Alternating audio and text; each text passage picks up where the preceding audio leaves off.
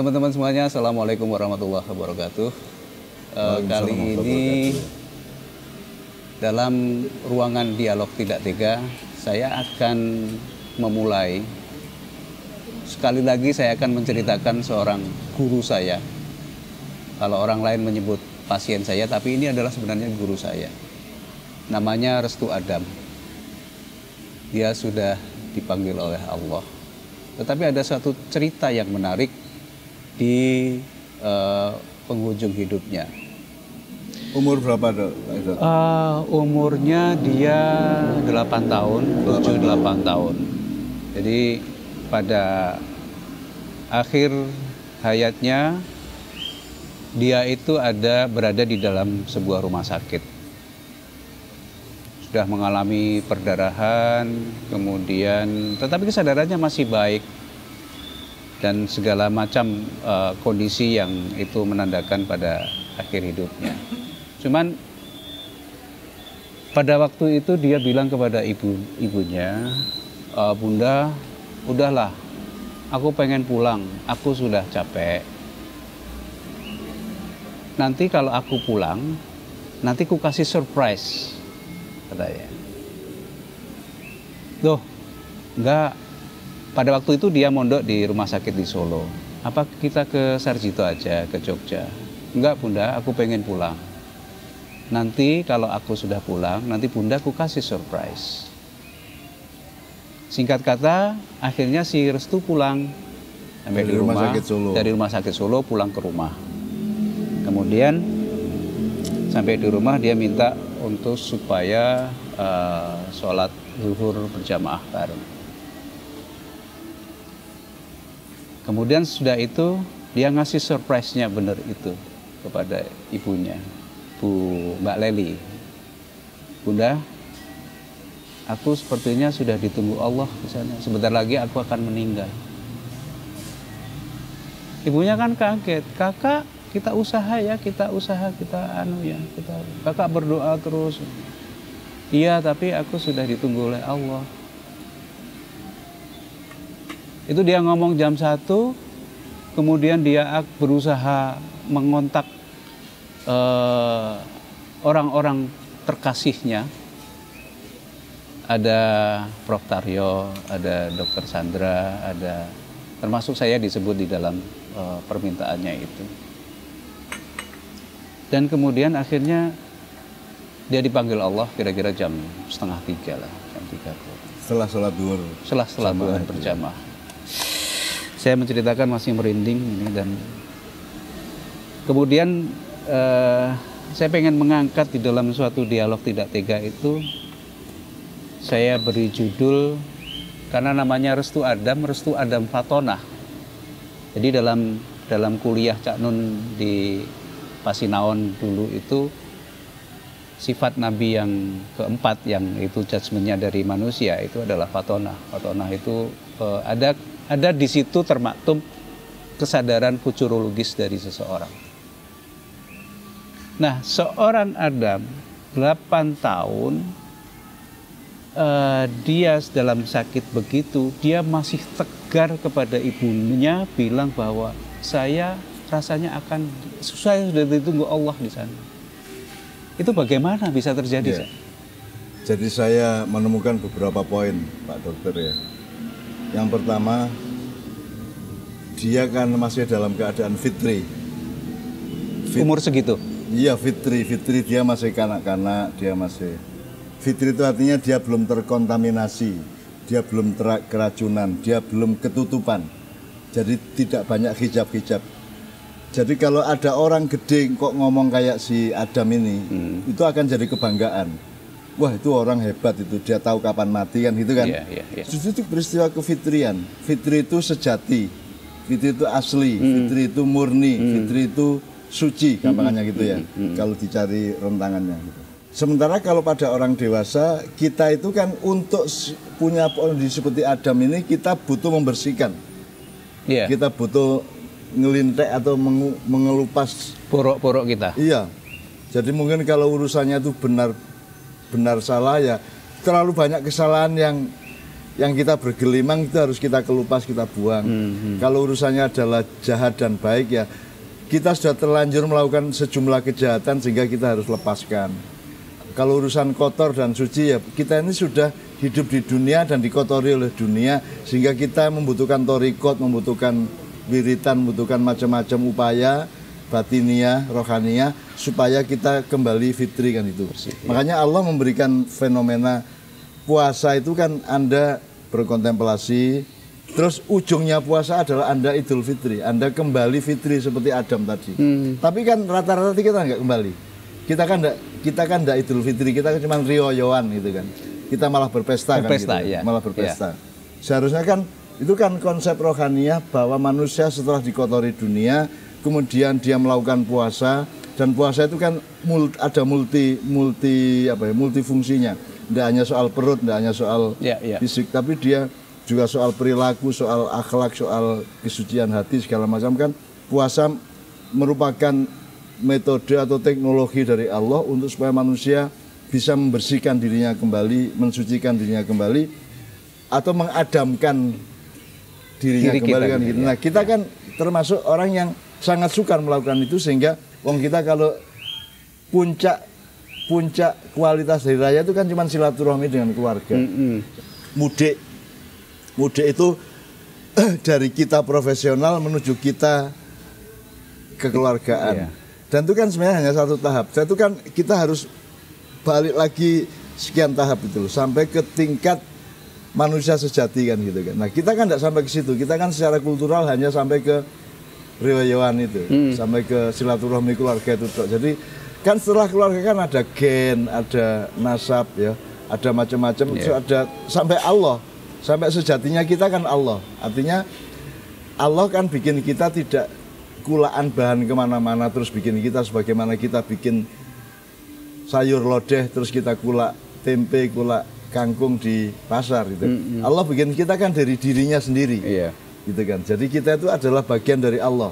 Nah, Idul Fitri adalah ketika kita mengallah kembali. Nah, orang Jawa punya mengalah. Mengalah itu upaya untuk supaya dia tidak terlalu nafsu secara keduniaan, maka dia mengalah. Dan ada yang menafsirkan mengalah itu mengallah, artinya berorientasi untuk mengallah kembali. Mengallah itu suci kembali Mensucikan diri. asal usul asasi asasi kembali nah itu itu poin kedua mas kemudian itu kan misteri diri jadi kalau orang dewasa kan menempuhnya dengan torikot ada mursidnya ada wiritannya ada upacara-upacara macam-macam supaya bisa punya Kembali kemampuan seperti Adam tadi. Sementara Adam kan enggak dia masih kanak-kanak dia belum dikontaminasi oleh globalisasi oleh mall oleh sekolahan oleh kurikulum oleh apa kelitih oleh geng motor oleh macam-macam ya. Hedonisme materialisme kan Adam belum Adam masih bersih dari itu semua maka dia punya pengetahuan tentang yang. Ke depannya ya. futurologi tadi. Ya. Sebenarnya itu bukan futurologi, karena kalau futurologi itu kan ilmu, ada loginya kan. Iya. Ini bukan ilmu, ini memang bawaan dia sunnah Allah kepada manusia itu memang adalah jadi jadi kita itu sebenarnya kan dunia pendidikan kita itu kan sangat jauh dari dari yang sebenarnya perlu dicapai oleh manusia. Hmm. Maksudnya gini, kan sekarang kita yang namanya pengetahuan dan ilmu itu kan urusannya pikiran. Gitu? Ya. Yang namanya ilmu pengetahuan sampai ada fakultas, universitas, jurusan, kedokteran, ada farmasi, ada segala macam itu kan urusannya akal pikiran kok gitu. Padahal ilmu dan pengetahuan yang yang Adam tadi kan bukan dari otaknya. Itu kan misterius. Jadi kalau Allah kan mengatakan manusia punya hati tapi tidak mau berpikir, ada itu. Jadi ternyata ada berpikir dengan hati menurut Al-Qur'an. Hmm. Lahum kulubun layak nabi. Jadi tidak tidak berpikir dengan hatinya. Ternyata hati itu alat berpikir. Dan ini cuman ini, ini kan cuman ini alat sambung saja. Oh. Ini jadi ini ini toolnya saja. Tapi sebenarnya apa namanya? Komandannya. komandannya subjek utama berpikir itu ya hatinya kan. gitu. Oh. Nah, sebenarnya ilmu dan pengetahuan atau informasi itu tersimpan di delapan di delapan unsur dalam diri manusia. Saya saya tidak bisa menjelaskan karena itu itu guru saya namanya Sabrang yang tahu itu ya. Iya. Jadi ada informasi otak, ada informasi budaya, ada informasi gen, ada informasi nurani, ada informasi sel darah, ada informasi macam-macam yang saya tidak tahu. Saya tidak bisa menjelaskan, Sabrang yang bisa menjelaskan. Nah, si Adam ini 8 tahun ini masih lengkap informasi yang dia miliki. Sementara kalau kita yang sudah dewasa ini kan, kan sudah masuk, sudah kuliah, sudah jadi penyiar radio, sudah ketemu artis, sudah macam-macam, kita menjadi tertimbun oleh hijab-hijab. Hijab itu tabir-tabir. Jadi kita sekarang kita itu ditabiri oleh dunia. Nah dunia ini macam-macam. Bahkan kadang-kadang orang menerapkan Islam malah menciptakan tabir. Oh. Kan bisa. Iya. Jadi misalnya saya saya ustadz, Pak Edot murid saya. Saya malah menjadi tabirnya Pak Edot untuk menuju Allah bisa aja. Kan gitu. Iya. Saya ulama, saya kiai, Mas Edot santri saya misalnya. Saya kalau keliru-keliru saya malah menjadi tabir atau dinding penutup atau penghalang dari aksesnya Mas Edot kepada Allah. Kan bisa itu. Pak dokter menurut saya berada pada posisi yang bersyukur luar biasa karena bisa punya apa tadi guru, Guru. meskipun Guru. praktek profesional disebut pasien gitu Iya, ya iya, iya. yang yang bisa memberi cermin seperti itu bahkan nabi-nabi tidak semuanya Seperti itu. seperti itu kan Nabi Muhammad juga tidak pernah bilang nanti tanggal sekian saya meninggal kan tidak ada juga nabi-nabi yang lain itu jadi Adam tadi itu itu kan representasi dari Allah sendiri kan tidak mungkin Adam itu punya diri tanpa Allah jadi sebenarnya yang berekspresi yang ngomong tadi Allah sendiri Bagaimana mungkin Adam bisa tahu Allah dia ditunggu oleh Allah Iya. kalau bukan dia itu Allah sendiri kan gitu. Adam itu seperti sound systemnya Allah, gitu. Sound systemnya Allah yang bicara mengenai kerinduan dan ditunggu oleh Allah. gitu. Jadi menurut saya itu itu luar biasa. Dan maka kita harus hati-hati kepada anak-anak kita. Kita harus hati-hati kepada manusia. Kita harus hati-hati kepada pendidikan. Pak Edot, tauhid itu tauhid itu adalah proses penyatuan diri kembali kepada Tuhan dengan atau kepada Tuhan. Nah, kalau kalau si Adam tadi nggak perlu tauhid, sudah menyatu dia. Dia sudah menyatu dengan Allah. Yang ngomong tadi juga Allah kan gitu.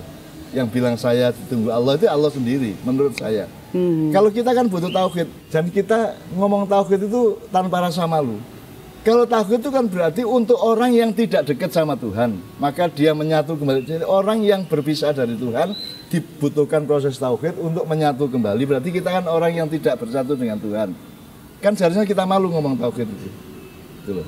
Kalau Adam tadi nggak perlu tauhid, dia dia tidak dia adalah manusia yang Tuhan kalau bahasa saya, yang Tuhan yang memang Tuhan itu semuanya itu Tuhan. Meskipun dia ngejawantah sebagai secara Manusia. biologis sebagai manusia, tapi kan muatannya itu kan diri Allah tadi itu. Dan Mas Edot yang bertemu dengan itu kan seperti bertemu dengan suara Tuhan itu sendiri. iya, iya. Karena tidak mungkin melalui ilmu apa pun, fakultas apa pun, universitas mana pun, Nggak grup torikot apa pun, tidak mungkin mencapai kalimat Adam tadi.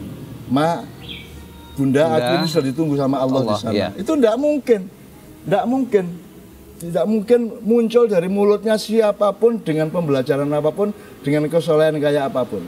Apalagi dengan institusi kependidikan Islam atau non Islam yang seperti sekarang tidak mungkin. Jadi Adam tadi itu juga bukan didikan manusia. Itu kesadar, kesadaran dia ngomong gitu ya. Ya cuman kesadaran itu apa? Kalau kita kan kesadaran itu kan pikiran. Pikiran. Padahal kesadaran itu ada banyak. Ah. Pak Edot, kalau sampean main badminton, apalagi double ya, Hmm. itu kan tidak ada waktu untuk berpikir ke sana apa ke sana, gini apa gini, apa gini kan tidak ada waktu. Itu itu kesadaran pakai kesadaran pikiran atau enggak? Yang main badminton itu pakai kesadaran pikiran Enggak, apa tidak? enggak. Kan tidak. Iya. Itu ada sesuatu yang lebih dalam, yang lebih peka, yang lebih yang lebih tidak terikat ruang waktu, yang bisa mengembalikan bola sedemikian rupa sampai kadang-kadang gini Iya, dan seterusnya iya, itu iya. itu semua bukan dari pikiran. Jadi manusia itu harap tahu bahwa yang disebut kesadaran itu bukan hanya dengan mesin pikiran. Jadi jangan sombong kalau Anda itu intelektual, jangan sombong kalau Anda itu orang pandai, Anda itu sarjana karena sesungguhnya manusia itu punya kelengkapan yang jauh lebih rumit daripada yang kita pahami di universitas dan kurikulum pendidikan. Saya punya masih punya eh, PR yang disampaikan Adam kepada saya di dalam jadi begini ceritanya.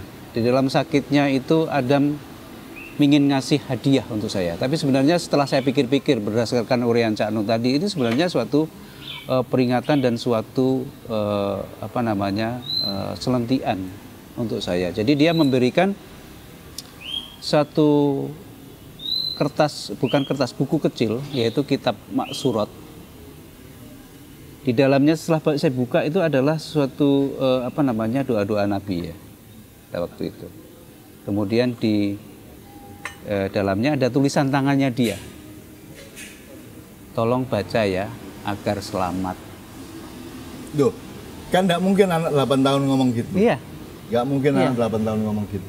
Itu kan kalimat yang berasal dari proses yang panjang, luas, dan mendalam Mas Edot. iya Ada pertimbangan, ada konsiderasi, ada pemetaan, ada perumusan segala macam sampai menjadi kalimat tolong dibaca supaya selamat ya. Kita sudah umur 70 tahun belum tentu bisa seperti itu bisa output kita seperti itu yang murni loh ya. ya Kalau klise bisa, kalau kita niru orang lain. Sebenarnya kalau ada orang mati kita bilang mudah-mudahan husnul khotimah itu kan klise, itu kan kulaan toh. Itu kan apa jenenge? Ombyoan tuh di mana-mana gitu. Semua orang kalau kalau ada orang mati ngomong gitu-gitu kan. Nah, Adam ini kan tidak kulaan dari siapa-siapa. Tidak kulaan. Jadi jadi Mas Adam itu se- seolah-olah bertemu dengan Allah kan gitu. Seolah-olah. Artinya bertemu dengan representasi Allah melalui, Melalui Adam. Adam. Kan gitu. Dan itu kan menurut saya itu luar biasa. Luar biasa. Eh, jadi Bu Leli dan Pak Sigit orang tuanya Adam berbahagialah Bapak dan Ibu bisa mempunyai putra yang sekaligus menjadi guru saya, guru kami semuanya untuk itu. Dan Sanun sudah banyak membeberkan tadi fakta tentang Adam. Adam adalah bukan Adam. Iya, Cak? Iya, karena kalau di dunia ini kan orang pakai identitas sosial, identitas profesional, identitas teknis, Ya. Insit- oh ya, identitas-identitas yang sifatnya administratif gitu ya. Adam itu tidak bisa anda ukur secara administratif, gitu ya. Anda harus harus memahami firman-firman Allah untuk untuk bisa bertemu dengan Adam, kan begitu. Baik, eh Canun kita closing Ya, ya, di ya. acara ini dan eh, teman-teman Pokoknya Ma- semuanya. Mas Edot bersyukur lah ketemu Adam itu. Dan, Ya. dan namanya Adam itu kan juga unik mas. Kok ndak Idris apa Ibrahim apa Muhammad gitu. Adam terus. Jadi seolah-olah seolah itu asal mula asal mula manusia kan gitu. Iya. Iya. Namanya juga Ya. Adam. Sekali Luar biasa. lagi terima kasih Adam sudah menjadi guru saya dan selamanya tetap akan menjadi guru saya. Kita ketemu di episode mendatang. Assalamualaikum warahmatullahi wabarakatuh.